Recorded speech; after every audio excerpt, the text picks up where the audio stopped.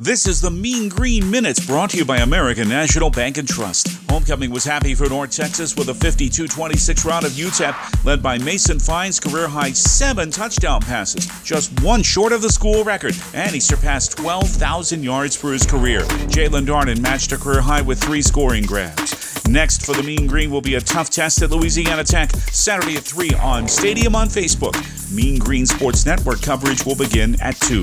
Basketball is back. The Mean Green women beat TWU in an exhibition Sunday at the Super Pit 95-43. The regular season opener will be Thursday at 11:30 a.m. at home against Mid-America Christian. The men will open the season Tuesday at 7 at the Super Pit against Oklahoma Christian, then play Friday at VCU. North Texas Soccer closed the regular season Friday with a goalless draw at Rice. The Mean Green are the second seed for the Conference USA Women's Soccer Championship, hosted by North Texas, who looks for a third straight title. And Wednesday night at the Soccer and Track and Field Complex, the Mean Green will meet seven-seed UTEP at 7 in the last of four quarterfinal matches. Semifinal matches will be Friday with the championship on Sunday.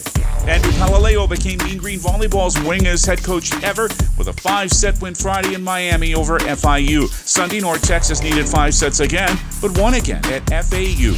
Women's golf ended its fall season by finishing a strong sixth at one under in the White Sands Bahamas Invitational. The men placed 13th at the Kaanapali Collegiate Classic in Hawaii. Men's cross country finished sixth at the Conference USA Championships with the women's seventh. Swimming and diving lost a duel at SMU that had 33 season best times, including three by Lee Fairs McGee. I'm David Burrell. Thank you for watching the Mean Green Minutes, brought to you by American National Bank and Trust.